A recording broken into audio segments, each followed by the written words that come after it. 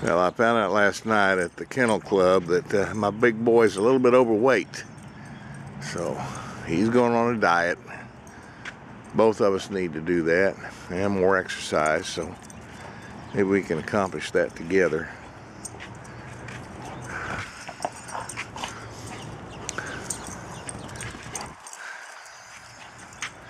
We've had rain for the last few days and I've had to, to kind of curtail his typical activity. So he's uh, enjoying the freedom of running the backyard again.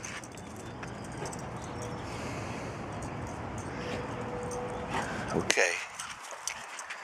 Go ahead. You're doing fine.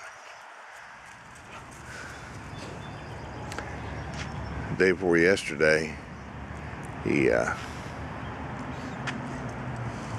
saw a rabbit running across in front of us and darn near yanked my arm out of the socket. I think that was his first